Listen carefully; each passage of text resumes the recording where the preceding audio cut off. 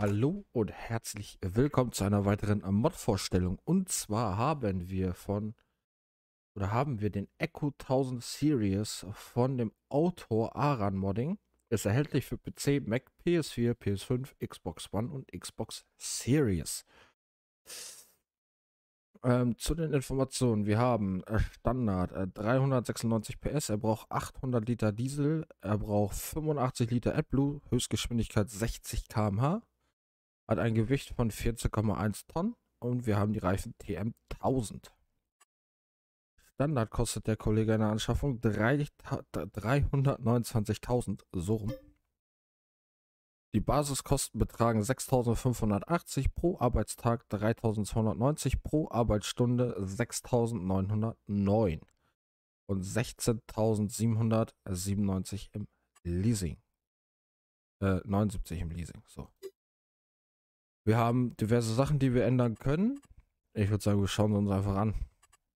Und zwar haben wir die Reifenhersteller Trelleborg, Michelin, Mitas, BKT, Nokian, Trelleborg Standard, Vario Grip, Radgewichte, Breitreifen, Breitreifen plus Radgewichte, Pflegebereifung, Zwillingsbereifung hinten, Zwillingsbereifung vorne, Zwillingsbereifung, Doppelbereifen, äh, Doppelreifen US und Standard.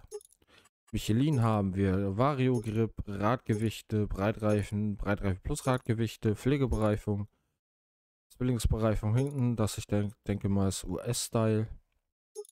Und Zwillingsbereifung, das ist die für Deutsch. Äh, Doppelbereifung USA und Standard. Mitas haben wir Vario Grip, Radgewichte, Breitreifen, Breitreifen plus Radgewichte, BKT haben wir Radgewichte, Zwillingsbereifung, Standard. Nokia Trees haben wir kommunal, da können wir nichts ändern. Und das war's. Dann haben wir Design. Echo, Fendt Vario Series oder Echo Challenger Series. Echo Jens Forstmaschinen. Und das war's. Design mit Frontkotflügel ohne. Äh, mit Kotflügel und Force-Käfig. Geht auch ohne. Dann haben wir die Ausführung äh, 1038 mit 396 PS. Dann haben wir den 1042 mit 500, äh, 435 PS, den 1046 mit 476 PS und den 1050 mit 517 PS. Die Hauptfarbe, die können wir machen, wie wir wollen. Aber ich denke mal, ein Fendt bleibt Fendt. Das äh, zudem. Den mieten wir uns jetzt einfach mal und schauen uns den mal an. Da haben wir ihn stehen. Es ist ein verdammt riesen Schlepper. In der Heckpartie alles, was wir brauchen. So. Und zwar machen wir erstmal Motor.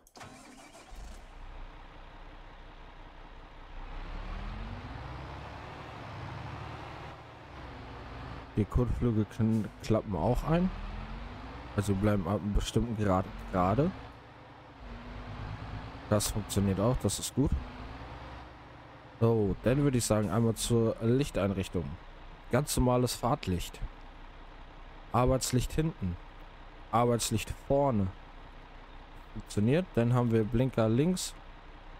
Der hinten funktioniert. An der Warntafel haben wir auch nochmal einen Blinker. Und vorne funktioniert auch. Blinker rechts. Auch an der Warntafel wieder funktioniert. Und der Blinker vorne funktioniert. Dann haben wir noch die Rundumleuchten. Das funktioniert auch. Das sind diese Blitzer rundumleuchten. Das funktioniert auch. Wenn wir bremsen, haben wir oben halt ganz normales Bremslicht, das passt. Die Innenansicht, hier haben wir einen Monitor, wo natürlich auch vorne alles angezeigt wird, was wir gerade anhaben. In grün, unten links, das funktioniert. Knöpfe leuchten alle. Das ist nicht schlecht. Innenraum, ja gut. Schlicht gehalten, Spiegel, die auf uns eingestellt sind. Das passt. Und dann hat der Bursche noch ein paar Funktionen. Und zwar linke Maustaste gedrückt halten, nach rechts können wir die Heckklappe öffnen. Äh, Heckklappe sag ich schon. Heckscheibe öffnen. ähm, zu euch ziehen, rechte Maustaste gedrückt halten, könnt ihr die Dachluke öffnen. Linke Maustaste gedrückt halten, nach vorne könnt ihr die Fahrertür öffnen.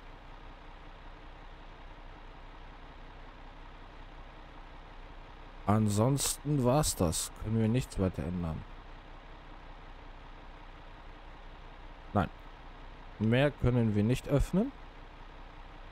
Nein. Mehr geht nicht. Ist ein sehr schöner Schlepper. Kann man nicht anders sagen. Warntafel können wir auch nicht einklappen. Aber ansonsten ein wirklich ein schöner Schlepper, was halt so ein bisschen die Funktionen angeht. Ihr könnt das natürlich auch alles steuern mit den ähm, einzelnen Tasten, wie zum Beispiel ähm, die Tür öffnen mit N und schließen. Ähm, Heckfenster könnt ihr mit M öffnen, mit K schließen. Dachluke mit Shift Plus Taste und N. Also da könnt ihr, aber ihr könnt auch halt alles per Maus steuern. Ich würde sagen, wir schauen einmal in die Log und die Log sagt fehlerfrei. Könnt ihr euch ruhig runterladen. Wenn euch das Video gefallen hat, lasst gerne einen Daumen nach oben da. Über ein Abo würde ich mich natürlich sehr freuen. Und um keiner meiner weiteren Videos zu verpassen, gerne die Glocke aktivieren, die euch immer benachrichtigt, wenn ein neues Video online kommt. Ich danke fürs Zuschauen. Bis dahin, euer Manuel.